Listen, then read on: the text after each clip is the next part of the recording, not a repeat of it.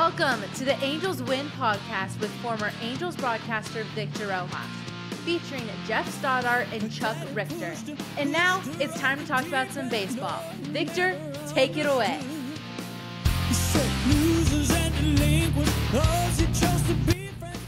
I'll take it away, but it's going to be Jeff Stoddart that's going to be running the point today. I want, I want him to be the point guard for today's episode on the Angels Win podcast. Of course, uh, I'm Victor Rojas. Thank you for so much for joining us. Chuck Richter's alongside as well. And uh, a little season preview, if you will. And uh, what episode is this now? 20 what? No, 32. 32. Yeah. 32. That shows how much I've been paying attention. I got to stop drinking. I got too much time on my hands. We'll start drinking more. Yeah. Speaking 32. Which, that's right. That's right. I think the last one I did was t- number 29. Cheers. Yeah. Cheers, um, gentlemen. And then, uh, yeah, you guys had a couple, uh, including Wayne last week or mm-hmm. whatever it was, 10 days ago. And yeah. And here mm-hmm. we are. Season starts in uh, little less than uh, 48 hours. The Angels will open mm-hmm. out on the road, three in Baltimore and three in Miami against the Fish before returning home. And uh, after an off day, I think it's what the fifth on Friday against the uh, Boston Red Sox. Is that uh, does that yep. sound right? That sounds right. So I've been paying a little bit of attention. Good. Right. Well, there's been a lot to pay attention to. Yeah. Uh, lots, lots to uh, to cover today. Um, obviously, I'm sure a lot of people are going to want us to uh, to weigh in on what's going on with with Shohei and Ippei, and we'll certainly do that. Um, but I think we're going to kind of start off with, uh, you know, a bit of a preview of the 2024 season, our thoughts going into it, um, observations from spring training, um, mm-hmm. you know, what's going on around the league. Uh, again, cheers to all of you listening. Thanks for tuning in. Uh, like, subscribe, hit that uh, hit that subscribe button. Uh, we appreciate you you listening in and, and being part of the conversation. So, Chuck, mm-hmm. I think mm-hmm. I'll, I'll, start off kicking it over to you. I know that you uh, were able to go down to uh, to Tempe and yep. spend some time down there, see the see some games. What are your thoughts as we as we head into the the 2024 campaign? Um, you know, what should fans expect? Players to be looking out for? Uh, yeah, get, get um, us going. I, you know what, I really, I mean, we did a poll earlier on the website and on X. Like, what are what are you? What is your projection of wins for the Angels season? And man, there were some really low numbers there. Um, overall, I think um, the majority of the fan base has really low expectations. And I kind of like being in that spot, to be honest. Um, how many of these years in the past, over the past decade, were we either ranked number one or two going into the season, um, or with a chance, uh, you know, for a playoff spot? And now nobody's, none of the pundits are putting us down. You know, they're saying they're penciling us in at fourth place. Um, you know, and and really with Ron Washington at the helm and the way they're running wild on the bases and playing really good defense behind him. Um, pitchers are throwing strikes, uh, you know, with uh, Barry Enright's tutelage. And, um, and man, I just, to me, having a good balance of homegrown talent on this roster and this lineup and rotation and, um, some other veterans that they've added and veterans that have been on the team like Trout and, and Rendon. Um, I'm excited because I want to see how we talk about how when we hear Ron Washington speak right to the media in an interviews, like man, I want to run through the wall, for, you know, for that guy. How much more so with the players who get to be under his teaching and in in uh, uh, you know, and coaching every day. Um, what are they? I mean, so I want to see if they're going to run through a wall, right? For from Ron Washington, and man, you know, seeing Nolan Schanuel uh, bulk up, and you know, he was a question mark. Is yeah, you know, he gets on base, he can he can make contact, but he's going to hit for enough power. Um, he looks like he's, you know, he's he's added some bulk, like I mentioned, and and he's hitting the ball far and with higher exit velocities. Um, Yeah, I think know? he and I both put on about 15 to 20 pounds in the off season. so that's, uh... I love it.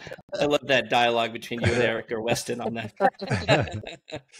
uh, but really, I can go on and, and we'll come back. You know, I, I want to give some of you guys Hmm. a, a chance to, to talk, but I'm I'm excited. You know, because zero expectations other than really looking forward to seeing how this young team, sprinkled in with some veterans and a superstar like Mike Trout, uh, do under Ron Washington. Yeah, Jeff Fletcher from the Orange County Register had a good piece. It was either Mhm. yesterday or the day before where he interviewed some of the guys. And Victor, it came across as them having, you know, a bit of a chip on their shoulder. Um, you know, I think specifically of of Patrick Sandoval and, you know, talking about how, you know, they're not listening to any of the the noise from outside, that they're just trusting the guys in the locker room and they believe in themselves, which I mean, I on one hand, you love to hear it. On the other hand, I don't know what we would expect them to say. You know, it's not like he's going to say, "Yeah, this is probably going to be a wasted season, and we're just going through the motions." I mean, no one's going to say that, but you'd like to think that it, it's true, especially as Chuck kind of mentioned when you're when you have a new guy like uh, like Wash in there. That's you know someone that just naturally seems to have that that it to pump people up. I guess the question is, what what's the noise that you are blocking out? I Mhm. mean, the what that nobody's talking about you? Uh, I- right? I, don't. I, That's- I mean, you're if- blocking out if- the silence. the silence exactly. I mean, there's no noise, and and and uh, you know, I'm not not overly surprised as to where, um, you know, the Angels are being picked. All things considered, when you, I mean, you look at um, what PECOTA and FanGraphs as far as the number of wins for the world champion Texas Rangers isn't that great. Um, they still have the Astros winning the division.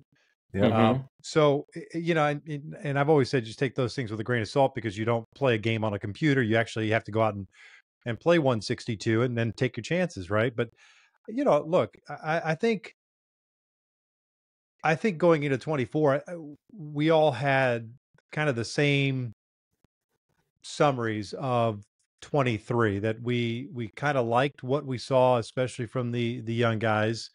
Uh, you want to make sure that Logan O'Hoppe can stay healthy and and do it for a full season. You want to see that Zach Neto can stay healthy and do it for a full season.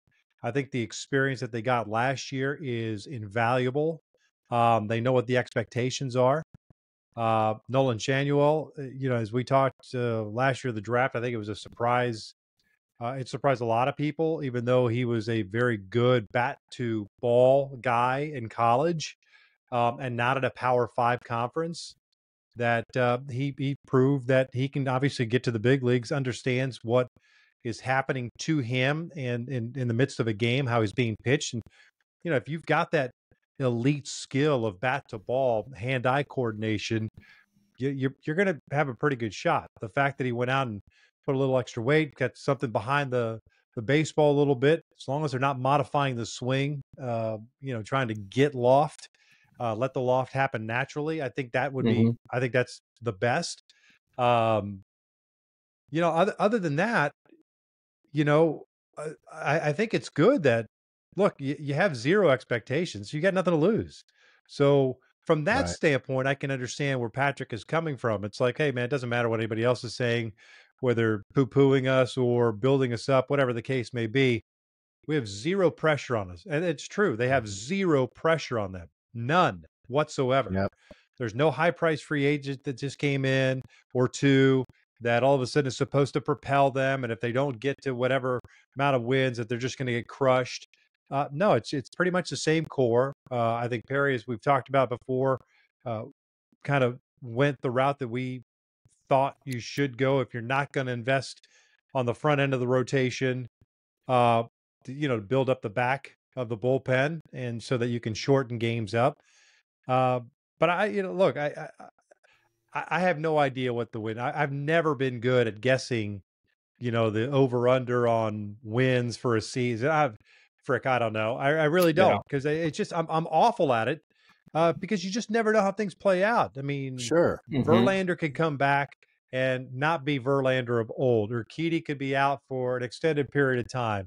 Now, granted, they've got some guys in the minor leagues and their offense is pretty good, but anything can happen to the Astros, right?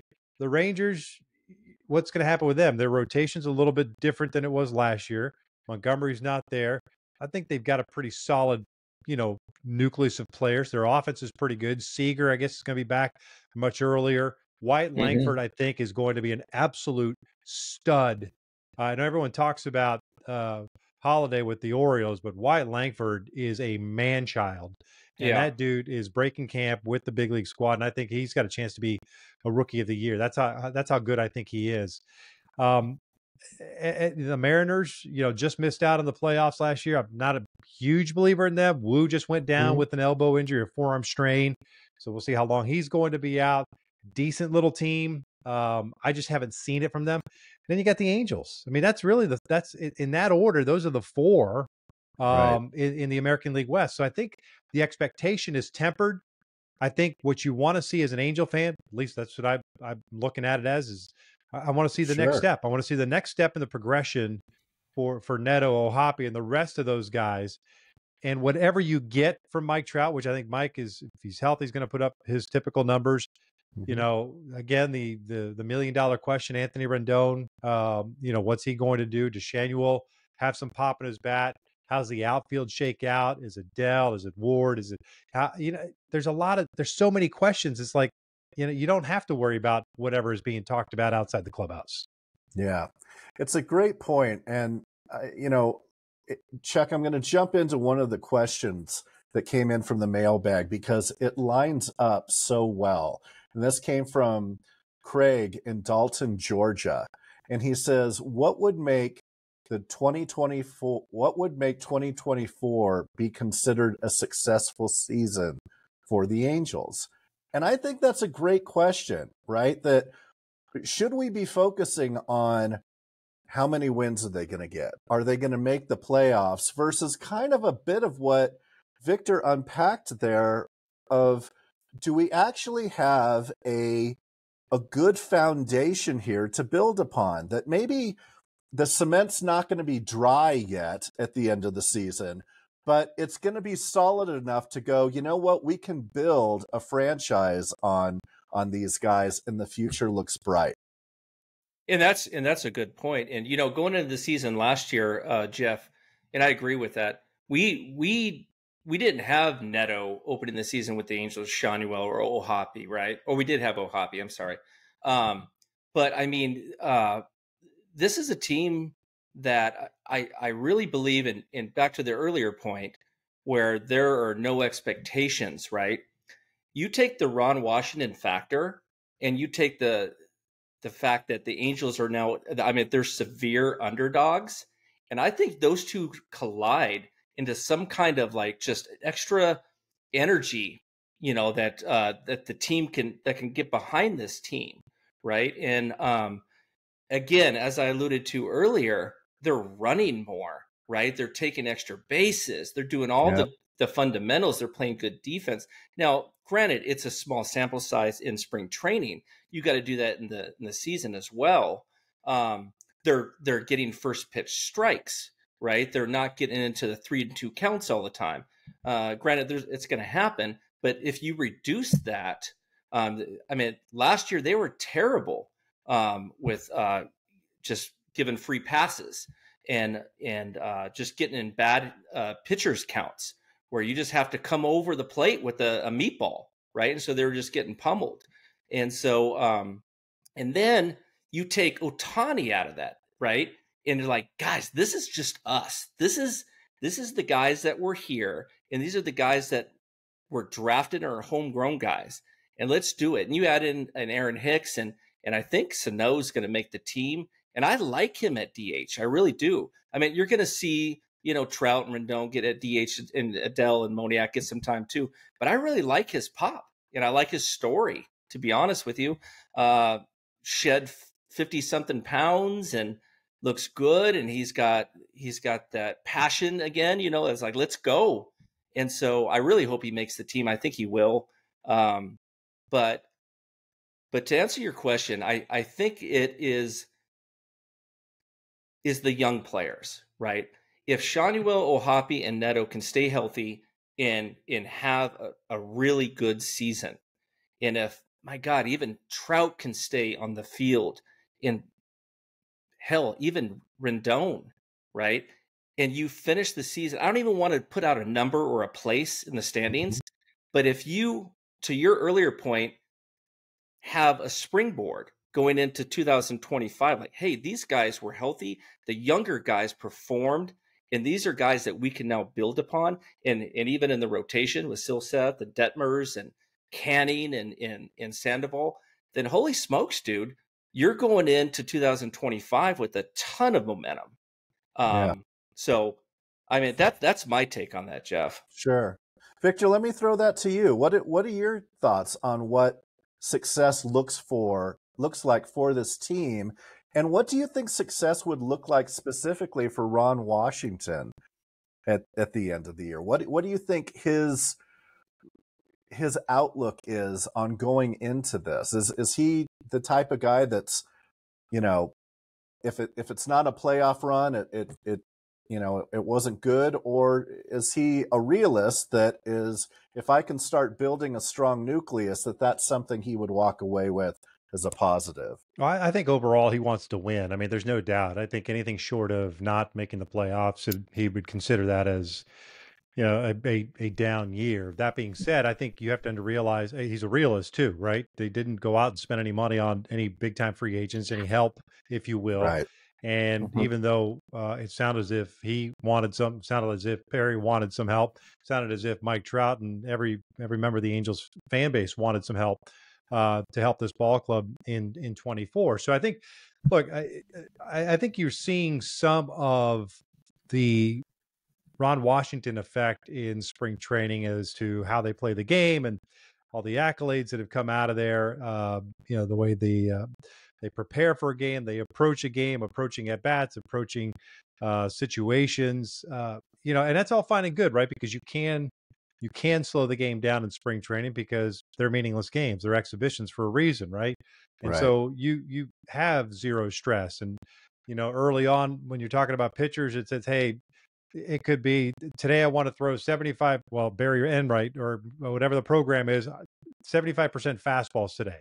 Mm-hmm. And, you know, mo- for most most big league pitchers can throw 75% fastballs and they would prefer to do that because you know it's just an easier pitch to control right and uh, in spring training hitters aren't quite as ready uh, pitchers are getting their work so that, that's why i take the results kind of with a grain of salt it's, it's kind of a, a mixed bag because it's supposed to be a mixed bag. I mean, sure. very few guys, very few guys will go out and have a monster, monster spring training that nobody's ever heard of or was a minor leaguer that was forcing his way on the roster. You know, I guess Sano, maybe it's not like he had a monster spring training, but I mean, you like the story, you like the idea of the possibility you have a need as well. So you, you yep. like that story. But I was actually, for whatever reason, I think it's because yesterday I was watching a Cubs game in uh, on TV, and you know I kind of grew up uh, like a lot of people did. Uh, grew up watching Braves and Cubs on TV. Cubs obviously day games. Sure, uh, they were always on. Mm-hmm. Uh, and I and I remember there was two guys you don't which you don't hear about anymore. Two guys that had monster springs and made a name for themselves and it never really panned out. Gary Scott was a third baseman. Both guys are third baseman. Gary Scott, I remember he just went off and then he got to the big leagues and had a, and had a pretty decent career, but it wasn't what happened in spring training. And the other guy was Kevin Orie, another third baseman for the Cubs. Similar type of situation. Uh, I guess you can kind of say the same thing for Brandon Wood, although it was more of the minor league numbers that never really translated to the big leagues. Sure. Um, right. But as it relates to the to to spring training, you, you kind of have to, and I, I probably said this a year ago you got to temper the expectations, right? Because no matter how good someone looked um, for a number of games, whether it starts as a pitcher or at bats or whatever the case may be, it's it's just a different animal when the bell rings on opening day. Mm-hmm. Yeah, it, it, just is. The games are just a little bit different. The speed's a little bit different, um, and, and and you know you're you're seeing sometimes you're seeing guys you haven't seen at all. You got 15 teams in Arizona, 15 teams in Florida the Angels are going to open up against a team that they haven't seen. two teams they haven't seen, right? In the Orioles mm-hmm. and the mm-hmm. Marlins, except for scouting yeah. reports. Mm-hmm. So, and conversely, they they've got to do the exact same thing, right? Right. The other teams right. do. Um, so I, I, I just I like what I've seen so far. I like what I've heard coming out of camp of how we're going to play the game, how we're going to be aggressive, how we're going to push the envelope. I think those are all things that needed to be done and needed to be accomplished. I think they're accomplishing that. Now you just want to see it carry over and you know just see what happens, especially on the uh, on the starting front. To be perfectly honest with you, because if you start getting guys that are uh, starters, even though they're they're they're five inning guys, you know, you start getting knocked out in third, fourth innings of your five inning start, and you start chewing at that bullpen early in the year. It's going to be a long year, man. Right. Mm-hmm. Yeah. It's a good segue into into pitching and and I think going deeper in games is something that that Wash kind of talked about as he as he initially joined the team in some of his early press conferences. And um, Detmers Chuck pitched really well last night, I thought. But mm-hmm. looking at that first inning, and you know he's up around twenty five, maybe plus pitches in the first inning before he kind of calmed it down and had a really strong game. Yeah. Um, one of the questions that came in from uh, Paul in Templeton, California, he said, given the five man rotation, who are our sixth, seventh, and eighth guys, right? So basically, from a from a starting pitching standpoint, who do we think is on deck, and do we have the the arms that we need uh, to start the season? I know that's something you've been looking at a lot, Chuck. What are your your thoughts on our starting rotation? Well, yeah, I, I think that you're going to see um, Jose Soriano start uh, in Salt Lake. Uh, maybe they even start him at Rocket City because Salt Lake is not really a great spot uh, for pitchers. You got a spacious field like Coors. Um, obviously, the ball just jumps out of the ballpark there. Um, so they may start him at Rocket City. We'll see. I think he's next in line. I mean, his last start, he got up to six innings six shutout innings, and um, I think he struck out eight guys. And so you got him. Victor Mederos is another guy that's looked really good in spring training. Um, I mean, three point one two ERA, twelve strikeouts, and eight and two thirds innings. He looked really good. He's been uh, the talk of camp. Um, you got uh, uh, Davis Daniel uh, is another guy. You could move uh, Suarez back into the rotation, but I think they want to keep him. Uh, they have to keep him on the roster or they'll lose him. He's out of options. I think he's going to be their long man. I think he's going to be their uh, Barria of last year and years before. Uh, just uh, give him some length. You hope he's um, not Barria of last year. that's true. How about the year before? so you know, uh, I, I would say those are the the next three guys in line. But let's hope we don't have to use it any of them for uh, foreseeable future. right. Before we know? came on the air, I, I, saw a note. Sorry to cut you off there, uh, Chuck, but no. uh, Sam Blum said that Jose Soriano has made the Angels as a reliever. Oh, okay. I so okay. He'll, he'll, he'll, continue to get stretched out. He'll be one of those options from a from a long term perspective. Well, that's that's interesting, uh, Victor. Because with that said, I wonder if they're if they're going to keep uh, Suarez. So we'll see. Yeah. Mm-hmm. Um, I I missed that. Okay, and then Andrew Wantz, uh, Wantz is another guy that they want to. They're trying to turn into a starter, so he's on the the depth chart as well uh, yeah. to be a replacement. Caden uh, Dana is a guy that they're they're going to start in Rocket City in Double A. His looked really good. I mean, the guy resembles Noah Syndergaard. I mean, look at it. and you know, he throws high high nineties. Uh, got uh, a good slider we'll see. Uh, I think those are the guys really mm. that are next in line. Victor, I know last year in, in our podcast we talked a lot about, you know, Canning and um, and Sandoval and you know the rest of the guys and and how good we should expect them to be, right? Are they are they anything collectively more than a major league four or five? Uh, when we're expecting them to be a two or a three, and this year, in some cases, maybe even a one. Uh, obviously, that's as with most years, pitching is typically, you know, the big question mark for a team. do you do you see anything this year that would indicate that they're we should expect more from them than we've seen in the past? Well, expecting more and actually getting more are two different things, right? Because Mhm. the expectation should be or has been for Griffin Canning, he should be a three, four kind of guy. Um, Mhm. It hasn't quite materialized yet. Reed Detmers is supposed to be kind of a three guy, right? But that hasn't necessarily materialized itself yet. And so I think there there are questions uh, as it relates to the staff. There's no doubt. I still think you have a staff of fours and fives. There's just it Yeah. just is what it is. And I think look, I mean, Patrick Sandoval, no offense to Patrick Sandoval, he's your opening day starter. You know, Right. and and so take that, you know, for for what it's worth. And and I Mhm. I haven't seen Patrick Sandoval in the last couple of years do anything to earn an opening day start. No, I, I mean, have I missed something? I mean, No. I like I- the promise that he brings to the table. I like the potential, and he's shown glimpses of it. Um, and maybe this is a way to kind of fire him up a little bit, and you know maybe take that mantle and and you know use that as as a motivation. And if it works out, fantastic. Um, but at the end of the day, this is what that's that's why the focus was the bullpen in the offseason. That's why you signed so many guys in the offseason, especially late inning guys, so that you can shorten games up. I mean, it, it doesn't take a rocket scientist to figure that out. Um, Right. And, and so that that right there to me was the the tell that it didn't seem like they were unless somebody fell on their lap at a, uh one year or an opt out year, whatever, one of these big time free agents that that they weren't going to sign anybody for for big money. And you know, was it going to be a Blake Snell, Jordan Montgomery? You know, Mike Clevinger's still out there. I mean, I know. It's like my, Lorenzen was still out there as of last week. I know. You know, I, it's like, and, and they're they're he signed for nothing, you know, and it's like Mhm.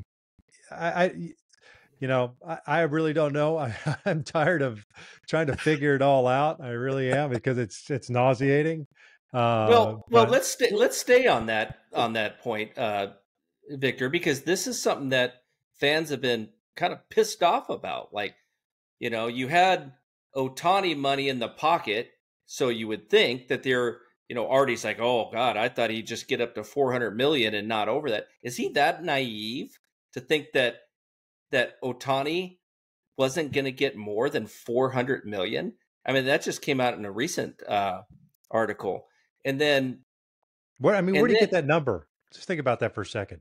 Well, I know. Was that was that a number that he thought? I think or- he crafted that number. So he crafted the number. Never ran it by anybody in, in baseball ops. Never ran it by John Yeah. Carpino. Never. I mean, it's like you, you can't. I mean, like that's just that is. If, I, I have it no sounds idea. like sour grapes to me. Yeah, but but Like- what I don't understand is like if if if that was his number, why would you why would you even put that out there? Number one, I mean, it makes zero Right. sense to even say you thought X, Right. Um, whether, whether you did or didn't, it's just dumb to even mention it, right? Because Yeah. all you're going to do is people get people to pile on you. Um, and I'm not I'm not trying to pile on here, but I'm, just saying, at at some point, then, hey, these discussions had to have happened at some point last year. Last spring, maybe the number started at four. I don't know, right. but it seemed like even back then, people were talking about half a billion dollars for Shohei Ohtani. And I know that's just people throwing stuff on the wall, but you know, usually where there's smoke, there's fire, and it turned out to Mhm. be kind of the, you know, it played out that way. And and the case is, if that's what you thought, at, at what point did you get the indication that it's going to go way north of that, and we need to get out of this? Did it happen when he hit free agency? I hope not, because then that's really short sighted. And it goes back to how awful a decision it was to not trade him at the trade deadline. He was not coming back. Players have said that they knew or they felt that he wasn't coming back. I mean, if the clubhouse fed, felt that way, how did that not trickle into management? I, I- just don't. I, I- I don't get it. That's that's a that's a really really uh, poor poor statement to say, especially when you thought it would be at, at four, when nobody thought it was going to be at four. And by the time we got to the trade deadline, nobody was even sniffing five. they were talking about going much higher than 5 So at that mm-hmm. point, why didn't you just say, "Hey, let's just let's just cut bait. Let's build for 24, see what we can get, build back our farm system, which absolutely has sucked for the last couple of years, and and and and take our chances. And if we get a chance to add in free agency, we'll add some you know some guys with free agency. But you do it with a stocked farm system, or you say, "Hey, Shohei, we're going to trade you. We're going to try to sign you in the offseason. Okay, get your players." Right. offer him six hundred million dollars. Who cares? I mean, you're not going to go there. Clearly, Artie was in his mind was not going to go above four. Didn't even. I don't even know that he was going to go to four. To be perfectly honest with you, he Mhm. just thought it was going to be four. Let me let me ask you this. You you know Artie uh, better than uh, both of us here, Victor. Uh, You Although know, we're pretty tight, me and Artie. So just well, you don't- did interview him. don't- yeah, that's don't- right. Don't, over assume that you know that Artie and right. I aren't like you know. You're right. Well, You're right. so but but Victor, I mean, are, are you kidding me? I mean, you he cannot see that that. So you got Perry Minasian saying that you know, hey, yeah, we got budget. You know, we you know uh, you know we stayed underneath the luxury tax.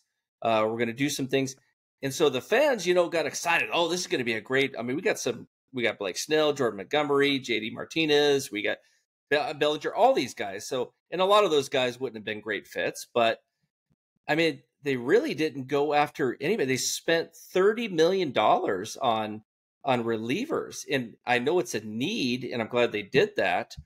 But there's, I I, don't understand how.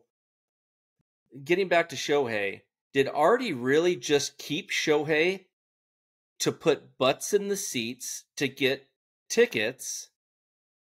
to get a profit, but For- doesn't give a shit about the future of this team. Because if he gave a shit, he would have traded him and got some top prospects back. I, I, I'm gonna don't- I'm gonna turn into that frickin' Frank the Tank guy here in a second. Fuck. I, I I have no I can't speak to you know Artie's thought process because I haven't had a conversation about it uh, with him. So I you know I I have no idea. Um, it the way it has played out, it seems as if that was the case. Maximize the attendance, maximize concessions, maximize everything for the last uh, month plus of the season or whatever the case was, and we'll roll the dice come the off season you know, I got into this with uh, an MLB writer uh, last year, Barry Bloom, who I've known f- since 2000 uh, last year. And he talked about how some sponsorship contracts would void, it was- he was talking about some stupid number, would void if Shohei was traded, which I think we've talked about that uh, Yeah. at some point last year. It's like, Yeah. I mean, who's the moron that came up with the idea of giving a sponsor the right to void a contract if you are not allowed to do business as you see fit? That makes Mhm. zero sense to me. Um, but eh, so, which goes to the point of, yeah, it was a bottom line decision. Um, the, the, clearly. Uh, now, whether he cared uh, about 24 and beyond, I, I really don't know. It, I, it's hard to say that he didn't care, but, but you know, actions kind of play out the way they did. I- I, I think the fan base kind of feels like he doesn't care, right? Um, that being said, it's a shame that the Angels didn't go out and try to bolster their team. They did so in the bullpen, and I thought so. I thought that I thought they needed to do that. I thought they needed to get another bat, whatever the case may be. Um, you know, I, I know I liked Whit Merrifield. Uh, I like JD Dave, uh, JD Martinez. Uh, just didn't know what JD was going to cost. Um, Twelve million dollars. I know. Well, at the time when we were talking about this, Yeah. you know, as a, as the hot stove was going on, we didn't know what the number was going to be. All of these guys that, you know, thought that they were going to get, you know, 150 to 200 million dollars ended up getting Mhm. shorter deals. All of them, all of them did. Um, and so, I don't, I don't know, man. It's just one of those things that I, I, I because I think the one thing that you, the message you send to the organization when you sign and bring in a guy like Ron Washington is like, all right, they could have just gotten a placeholder, right? They could have gotten a newbie manager. They could have saved money. Well, it seems like they saved money on the coaching staff. We've been over that subject before. Right. Oh my Um, god. But uh, you you could have gone you could have gone that way and just said or or brought somebody up from the minor. You know, one of those. But when you go out and get a Ron Washington, you're like, okay, hey, so the this guy, and I know Wash, he he wants to frickin' win. I mean, he Right. there's an expectation on his part. Yeah. Like I'm here, I'm putting my name to it. You know, you got to meet me halfway. Uh, I don't know. I, I can't imagine that he's thrilled with how things have played out.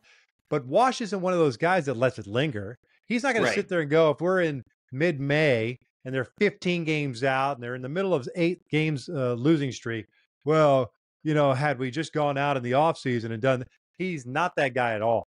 He'll shoulder the blame himself. And I think that's why when you go out and get someone like Ron Washington, you've got to give him the pieces. You got to Mhm. whatever the pieces are. If that means Clint Hurdle as his bench coach, if it means And going he out and wanted the pieces. it- it- it- Right. it- right, you got it within reason, right? Mhm. Within Right. reason. You can't just sit there Yeah. and get one. He wasn't asking for the moon. He didn't. He wasn't bitching and moaning to the media when they didn't No. sign re-sign Ohtani. Report I mean, come what. What- Clint what- Hurdle would have been the 17th highest paid Yeah. bench coach in Major League Baseball. Yeah. So he wasn't even in the top 10. No, I know, I know, and and, and look, you know, uh, say what you want about the whole situation. uh, You could easily just put it to bed by saying, "Hey, Wash, we want you, but X."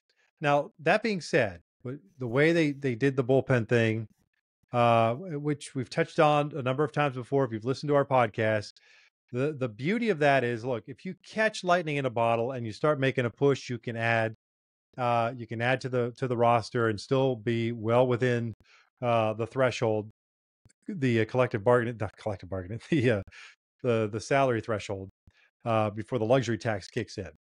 And conversely, if you start not playing well and you see that things are, you know, and assuming the guys that you brought on board, especially from the bullpen perspective, which is huge going into the offseason, towards the end of the year and into the offseason, you've got pieces to sell off Yeah. right? That you can get good number of players back to help bolster your minor leagues.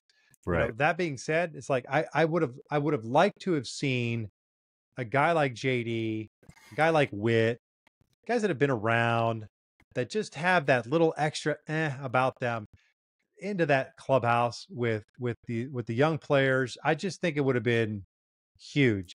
And it and it has to be a position player.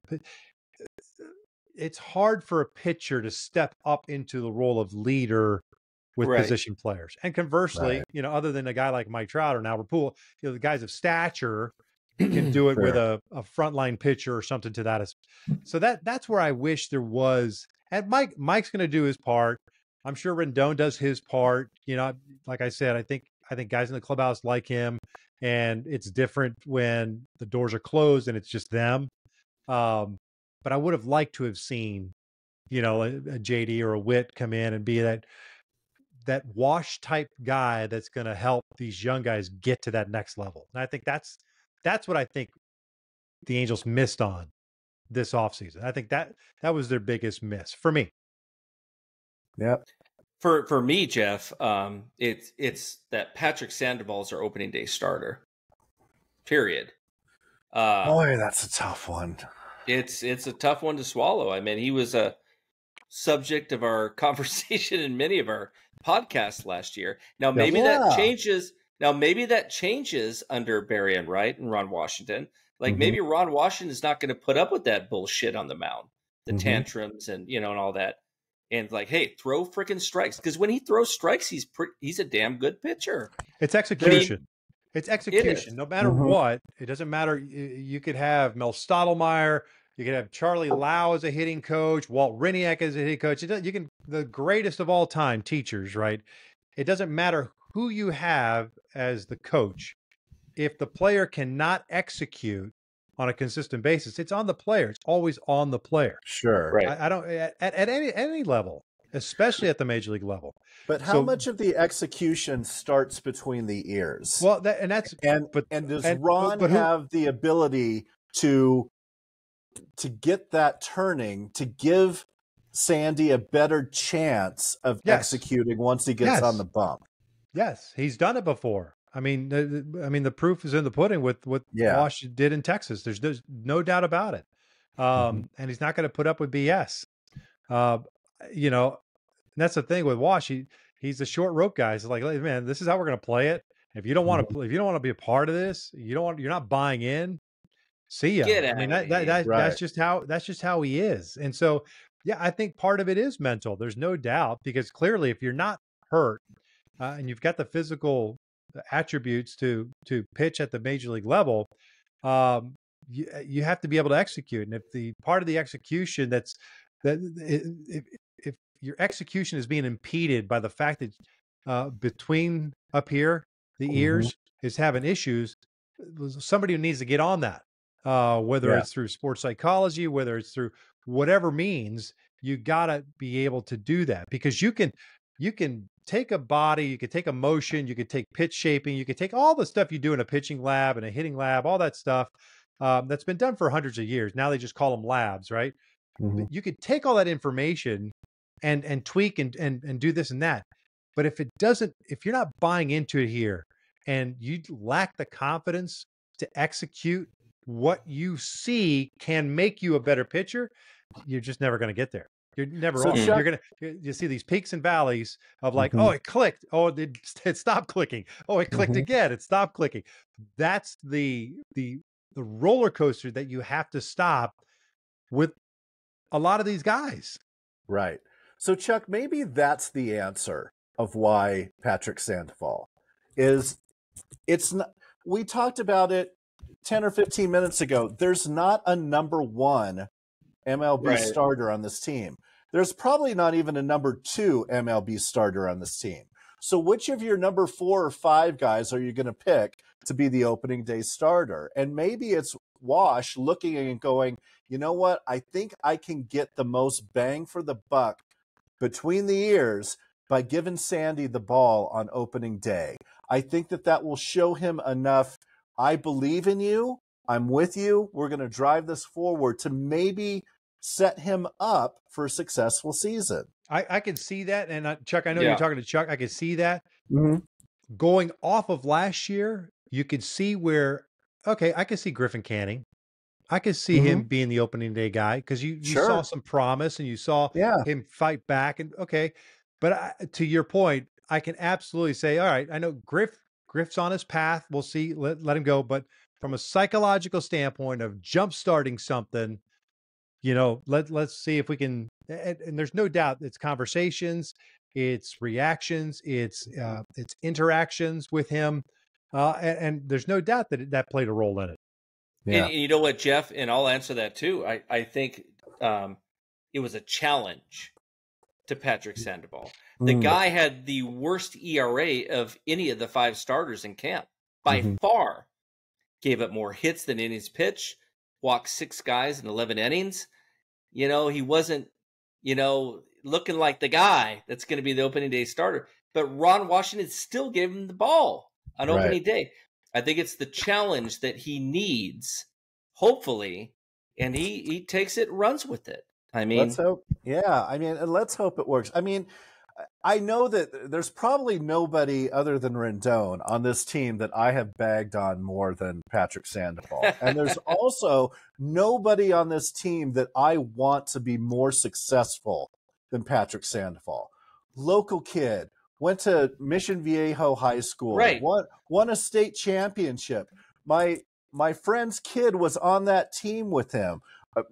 mm, Jake Figueroa, what's up, buddy? Jake came to our some of our spring training fan fest ten I years remember. ago Yeah. when he was a little kid.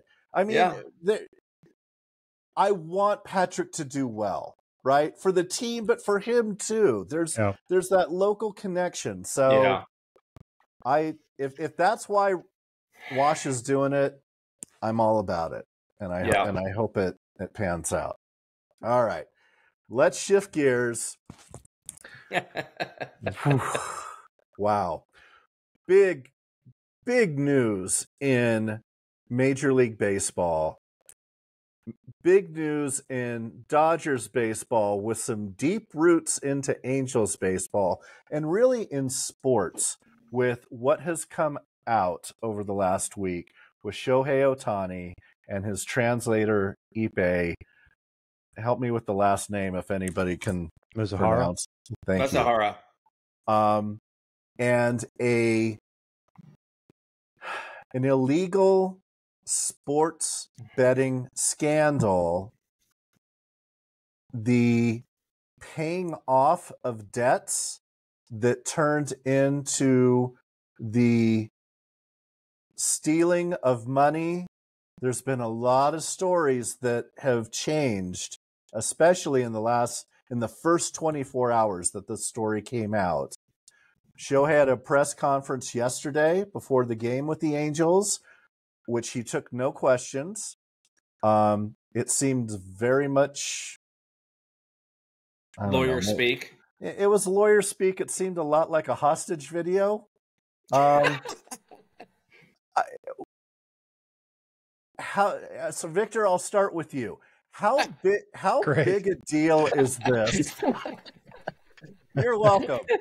How, how, how big a deal nice, is nice tap dancing too. You're like Shirley Temple in one of those 1930s, 40s movies. Seriously, I mean, that was how painful. How painful was that By for the you way, to get? Hollywood was built on the back of Shirley Temple and some very inappropriate movies where Hmm. she's dancing around on the good ship lollipop with a bunch of men around her. Where are her parents on this sh- good ship lollipop that Yep. this little girl is walking around on?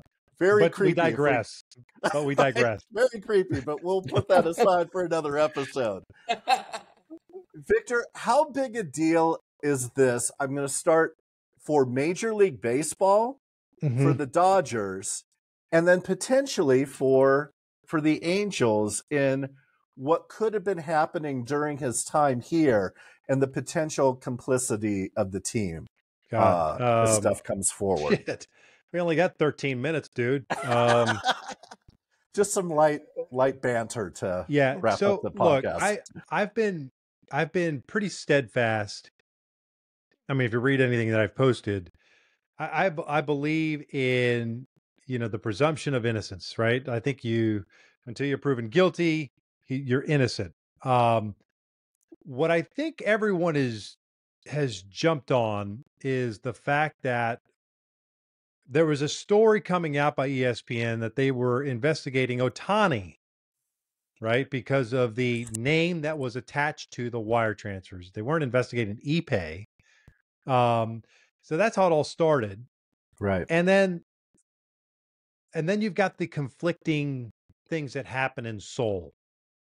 And I think Yeah. that's where every that's where the flips the the switch got flipped for everybody. Like, man, I th- I even said I think I might have more questions now than ever before. I'm, I'm I'm a little confused as to how all this is played out. I'm still confused. I have no idea. Look, I think like I would imagine both of you. I hope Shohei wasn't involved in anything.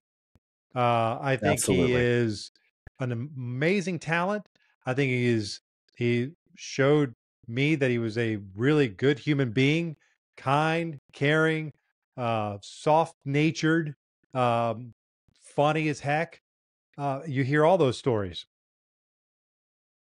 You know, Josh Hamilton was kind of that way too, and we know how that worked Right. out with Josh and right. and his inner demons. We just never know. And so I, I I'm not passing judgment. I'm just saying that I want this to go away. That Shohei did not bet on baseball, wasn't involved in this, and that it was, you know, uh, this nefarious bad actor in Ippei that did all of this, and we can kind of just go on with our with with our way. I think that's, I think deep down most baseball fans would hope that. I- I just think that there's more and more questions that need to come out, and they're going to come out. Look, I mean, it's a federal investigation. Right. And as we've seen federal investigations play out, things will come out, whether it's text messages, whether it's PayPal receipts, whether it's wire transfers, all that stuff. All of that stuff is going to come out in the wash. And I, I think, you know, after listening to Shohei yesterday, read his statement. I, I absolutely there was a lot more to it. It was a lot longer than I anticipated it was going to be. The genesis of the of of what his statement was was pretty much kind of what I thought it was going to be, kind of in line with what once they corrected the story or however they spun it, you know, in Seoul to where Ippei lied to us. Uh, Ippei never told Shohei any of this stuff, and it was massive theft. I thought all of that was all pretty much contained in the same statement. So it's right. they're kind of using the exact same thing that they that they were putting out before yesterday's press conference to now putting Shohei's face out there with the statement. I hope he's 100% correct in all of this. Because mm-hmm. if there's one thing that that you know, there's always that that other side, right? Because you haven't heard from the other side. Right. Um, has Ippei been arrested? Has he been questioned?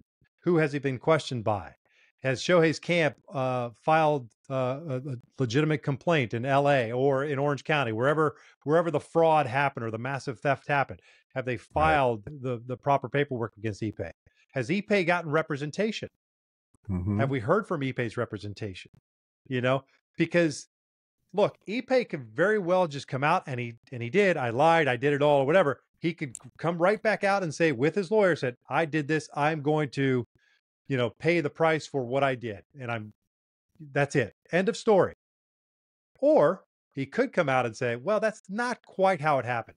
If that comes out, then I think it's I think it's really a lot bigger than because now now Shohei's brand is taking a hit, right? Mm-hmm. Because You've put them out there with that statement. So I just think there's just so many things that still need to be unpacked. I don't I don't get the people that are talking conspiracy and uh, you know he did this and I do have my questions. I mean, mm-hmm.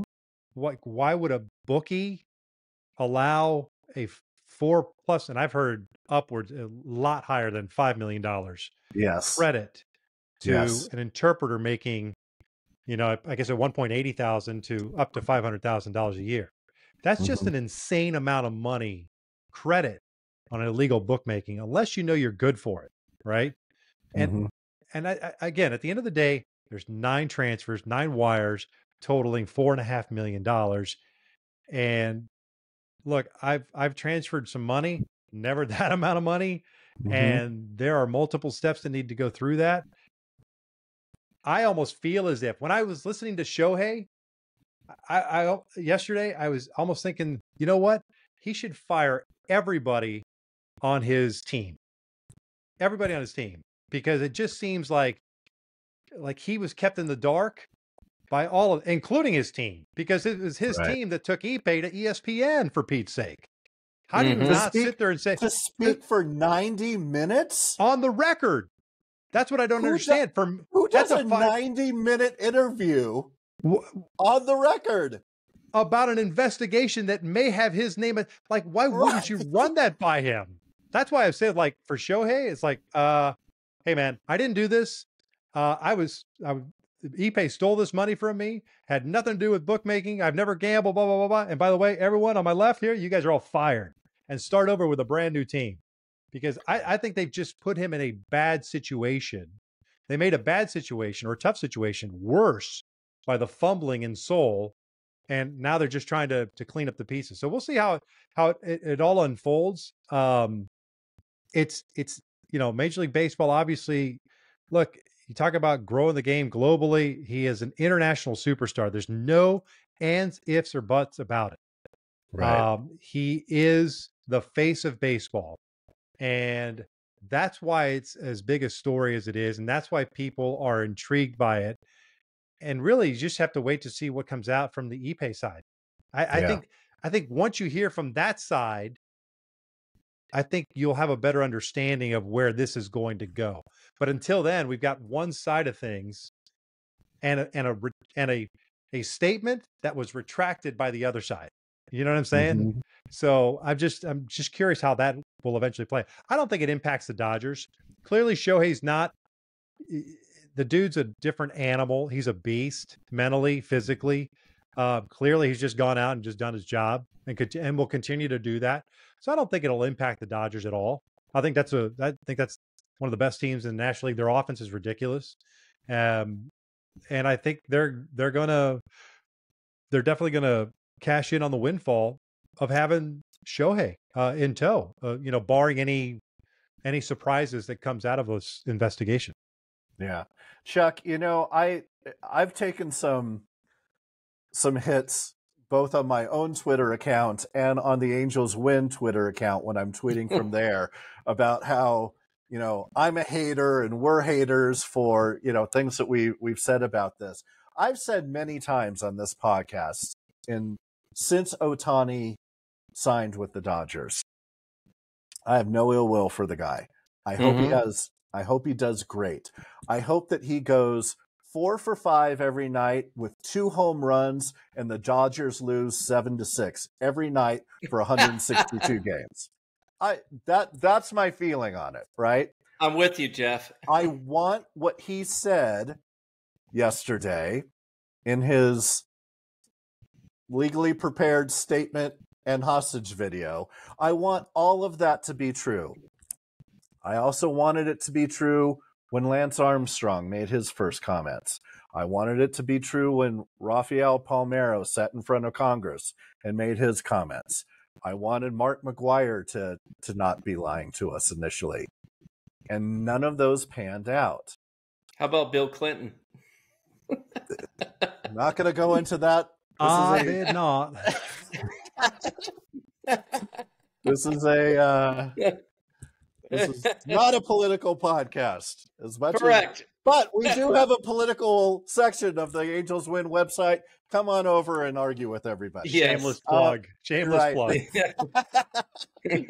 um, how, uh, Jeff, you're right. by the way, you're you're absolutely uh, every.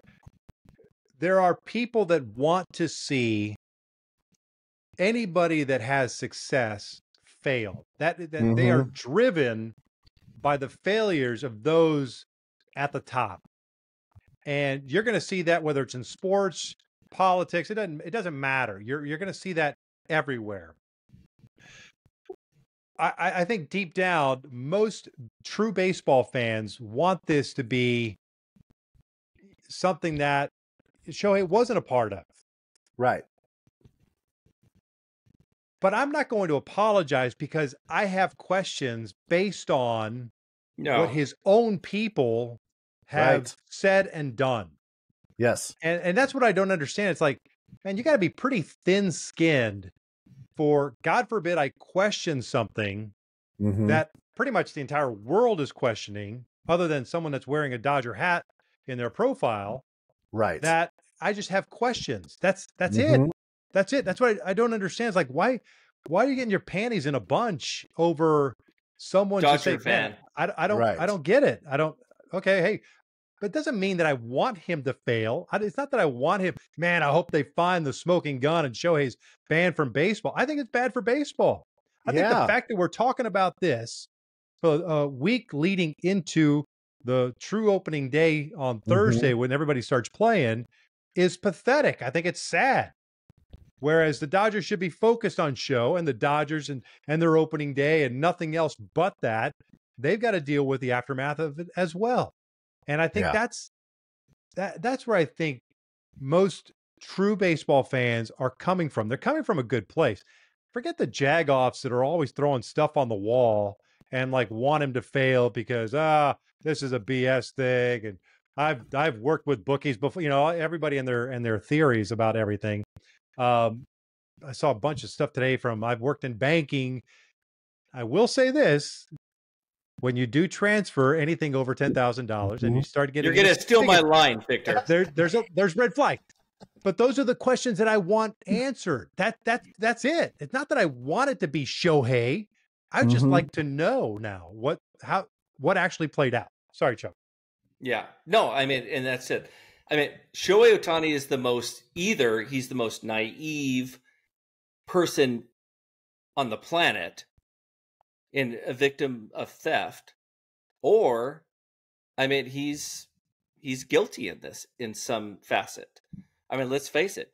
how could you not know that you're missing upwards to 4.5 and, and even like Victor said, even see- more? I can see him not realizing that the money is gone because if you're not checking it on a daily or whatever the I get that. But again, how his people Right. aren't seeing these $500,000 wires going out, nine of them. I, I to me I lay that blame at their feet. That's why I say I would I would get rid I why would I trust those people? When you say his people, Victor, are you thinking? Are, are you talking about his agent? What, what whoever Lawyers. Wh- accountants. whoever whoever his lawyer Yeah. was, whoever the Yeah. crisis Accountants. manager was, whoever the accountant was, whoever's supposed to be looking over, because I guarantee it wasn't Ippei being the accountant. you Right. know? Right. I, he may have way, had if- access. You know, he may have had access will- to the accounts and whatever. That's fine, but To that point, where- though, if where's- Ippei where's was the- really only making where's the firewall? five thousand dollars to one hundred and twenty thousand dollars for his first couple of years, how does this guy have access to Shohei's accounts? Right. well, that- I mean, look again. I've I've seen, I look, I've seen a lot of things. There's I've weirder heard a things lot of out things. there. I get it. There's it. a lot yeah. of weird things out there, Mhm. and you know what, guys, guys fall into the trust thing, and and they feel comfortable, and hey, whatever. I don't I don't judge, but again, Sure. where's the where's the firewall right. on the account accounting side to prevent these kind of things? Where's the red flag? That's all I'm saying. Is like on that Mhm. side of things. Not blaming Shohei for not knowing. I, I get it. I mean, that's a ton of money he makes on a yearly basis and spread out through number of different accounts. Uh, he probably has one, if not two accounts, of which is, you know, the the the daily access, but you know, stuff to pay bills and and everything else is in wherever uh, investment accounts. But I mean, there had to have been some sort of a red flag from the accounting side of Shohei's financial people, like, or at the very least, ask the question, "Hey, dude, like, this is the third five hundred thousand dollar wire that you've sent out. Like, like, why are you? Did that conversation ever happen between mm-hmm. Shohei's financial people and Shohei? That's that's Right. kind of one of those questions that I I, I would like to have answered. Not that I deserve an answer. I'm just saying I'm more We all I deserve an answer. damn it. no, we we we don't deserve answers. I'm just I'm now since the genie's out of the bottle, I'm Right. now I'm now I'm curious and I'd I'd like to know that and I think that's all it is. Chuck, I've got a bigger question, but any any final thoughts on that? No, Um, no. Okay. So here here's my bigger question, right? Baseball, America's sport, America's pastime has struggled for the last decade plus of mm. trying to build a fan base.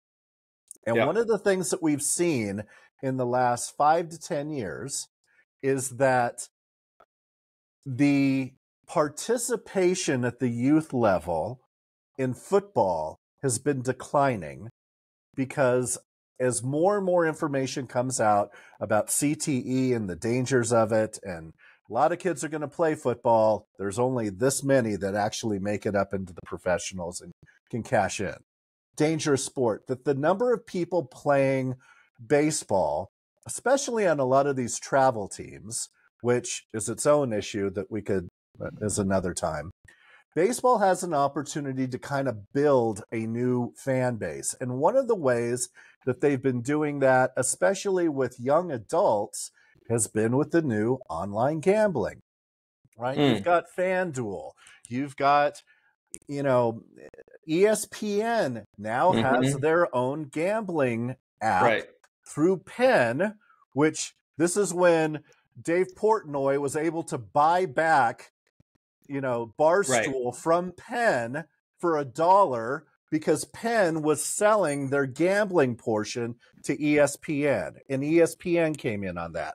So now you have baseball, and it's all the other sports too. But you know, we're a baseball podcast, and this is this story is impacting baseball, where baseball and gambling is becoming tighter and tighter and now you've got this big scandal how does major league baseball navigate through this other than trying their best to bury the story hope it goes away and i don't know all, That's a jump ball, gentlemen. I'll let either of you take that one. I'll, I'll take it real quick because I, I can see the gears turning in Victor's head. So real quick, I this is my fear, Jeff, that that Major League Baseball is protecting Ohtani. Oh yes. I mean, all right. oh yes. Uh, okay. I mean, he's the face of the game. I mean, we already Mhm. talked about that. He's a nice guy. Eh, there's a lot of nice guys that uh, do bad things. Okay. Mhm. Um, but I'm and I'm not saying Ohtani is guilty here either. I'm I'm with Victor and you guys. I mean, innocent until proven guilty, right? Sure. Um, but that's where I think you're. This thing will never go to rest because there's always going to be that thought out there, like how much money does Major League Baseball have, and can I mean can they even buy the feds off? Right? I mean, let's I mean let's face it. There are Damn it! I'm I a- should have brought my tinfoil down here to create my own hat. I didn't know Fuck you are were going talking about, there. Well, I mean, I don't trust these guys. I don't trust the feds. My God. All right. I'm kicking it over to you, Victor, because don't get me started. God damn it. Yeah, I, I don't know, bro. I really I don't know where to go from there. Um, like gambling and sports are in bed with one another. Gambling and media outlets are in bed together. I mean, uh, podcast. You know, I saw foul territory. Uh, Oh, God. what you call it? Uh, Ken Rosenthal's doing a hit on the Shohei thing, and the and the scroll the the, the crawl at the bottom is brought It to you is by a- M- MGM bets. Right. Exactly. You know? with So- with the lines on Yeah, all of the with the lines, games. yeah. yeah. Yeah. I mean, it, it, it is it is what isn't there isn't there a uh, Toronto Raptor being investigated or something about a Yes, Jordan. Um, just happened a couple days ago, right? yes. Uh, oh, what's his name? You Um, tweeted him out, didn't you? I did, and I'm trying to because his It's brother. the wine. It's the wine. It, it- it's uh, Porter is his last name because he's the brother of Michael Porter Jr. that plays on the Nuggets, Hmm. and I, I I forget his name, but yes, he's he's involved in a in a gambling scandal, and Right. he's kind of a B C player. So the Yeah. I mean, he's one they could kick to the curb and be done. Right. He's Yeah. not the face of Right. Exactly. basketball internationally. That's where it's Yeah. different. Right. I, I- I don't look. You know, I'm not going to get into conspiracy theories because you know oh, it's, come it's- on. It's a it's a rabbit hole that's not worth my time. for, for being honest right now. Uh, but that being said, look, there, again, there's a federal investigation going on, at least one of them, uh, if not multiple. Um, and there's a state involved, obviously, in California. And I just think that because of that, it, it's it's almost it's hard for it to go away. I just um, and I think the less information that's out there, the more damning that it could be for Shohei. This is just me spitballing. And the more information that does come out would lead me to believe that Ippei did steal and that you know what I mean, where they start building up that fire. See, we told you it was Ippei. Um, you know, he did it, he's gonna admit to it, whatever. And so again, until this whole thing starts un- unwinding, um, you know, we'll we'll see. I I I hope Show is telling the, the truth. I, I Mhm. I'd like to believe him. I, I have no reason to too. doubt him. Um, but good God, can you imagine a lawyer with Ippei and Ippei saying, "Hey, man, I was kind of forced to say that I didn't do it," and the defamation lawsuit that would get filed in a heartbeat would be I'm here for a- it. and then I, that would just i mean but i again until until he gets representation really until well he should have representation already uh, Yeah. because there there's been bombs just lobbed his way Right. and two if that's the case and that's their intent then there, there's going to be charges at some point somewhere along the line and so you have to be prepared if you're if you're the opposition so i just i don't know we'll see how it goes we'll see how it goes Yeah. i could care less by the way if Shohei's on the Dodgers. It means absolutely nothing to me. This whole thing between the Dodgers Angels, it's such a contrived rivalry. It's like I really don't care. I Oh, wasn't born different. I know, but you didn't grow I- up in Southern California. You didn't grow up. You were I an did. Angel fan in the That's 80s. not a when- rivalry. It's not a rivalry. It's not a It not- is a rivalry. bullshit. Dodgers Giants, that was a Oh rivalry. shit! I okay. will take it to the grave. Yankees Red Sox, that's a rivalry.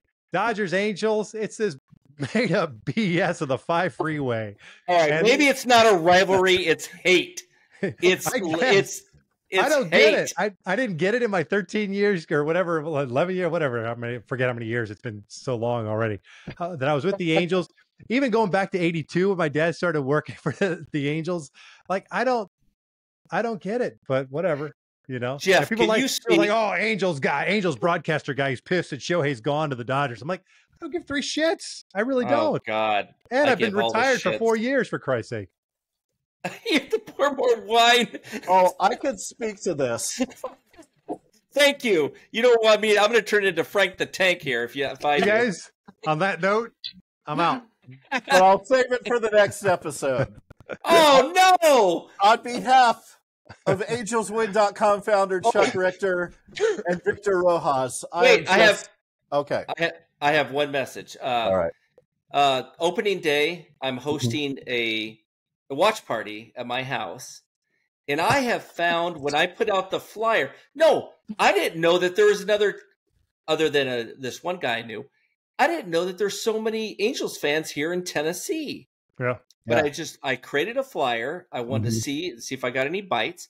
And my God, I'm going to have 10, 12 people here at my house on opening day. I'm doing smoked pulled pork and uh and brisket and I I, I mean it's my God. Keith Shar- uh Keith Sharon, you remember him uh at the Orange County Register? He moved here. He writes for the Sherrington. Tennessean. Yeah. Huh? Sherrington. Keith, Keith Sherrington. Sherrington. Yeah. No, it's Keith Sharon. Of the, he was the chief uh, editor of the Keith Orange will County be Register. there. Keith will be there. Keith will be there. and his son. I just want to jack with you. By the way, God real Damn it. You by you the way, stopped for such a second. I thought your camera froze. you were like, Fuck. real real quick. our hey, our hearts go- our hearts go out to everybody in Baltimore today. Really horrible Yeah. accident Yeah. there.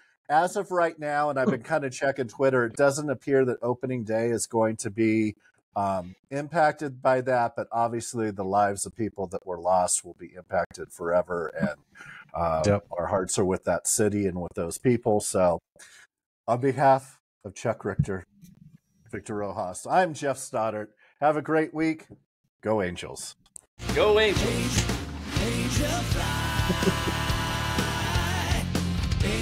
Thank you for listening to the AngelsWin podcast with Victor Rojas, Chuck Richter, and Jeff Stoddart.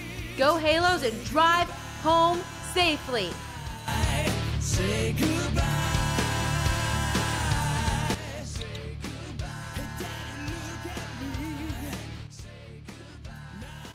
we still recording?